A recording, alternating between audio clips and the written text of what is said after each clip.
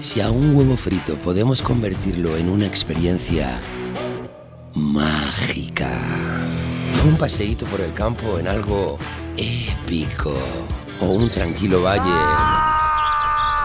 vente al frescalo, al rapilento, al tranquitenso,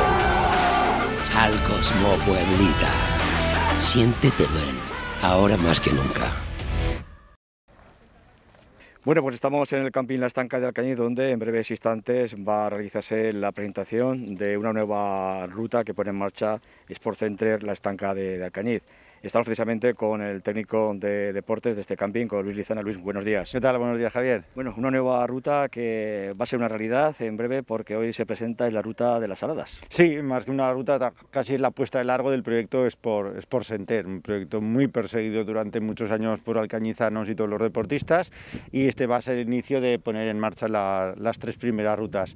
Dentro de las tres primeras rutas que se ponen en marcha, hoy vamos a hacer una visita guiada sobre, la de la, sobre las saladas, que son 18 kilómetros público muy familiar como podéis ver y, muy apetecible para hacerla tanto en bicicleta, como la propuesta inicial, como algún día corriendo o andando.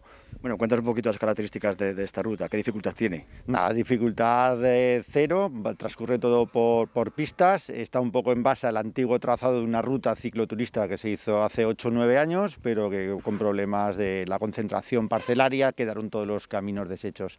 Entonces lo que tiene sobre todo es muy vistosa, es, es la verdad muy turística, porque recorre, pues vamos a definir tres puntos muy importantes, como es la ermita San Miguel, con todo el conjunto de paredes que hay para escalar, eh, el estado de la, de la, ermita, recorre también las, las saladas, el conjunto de cinco, cinco humedales que, que, tenemos allí, y luego pues vuelve, vuelve a la estanca. Entonces une el componente un poco que buscamos, el turismo con el deporte. Vamos a, presentar la ruta, vamos a abrirla y vamos a que todo el mundo la vea y el que no la vea, por lo menos que, la disfrute del comentario que ha hecho la persona que ha asistido. Hay un proyecto muy claro para ordenar toda la práctica deportiva en torno al triatlón, que es la, principal peculiaridad que tiene. Va a girar luego muchísimos deportes más y, bueno, a ver si lo conseguimos por fin.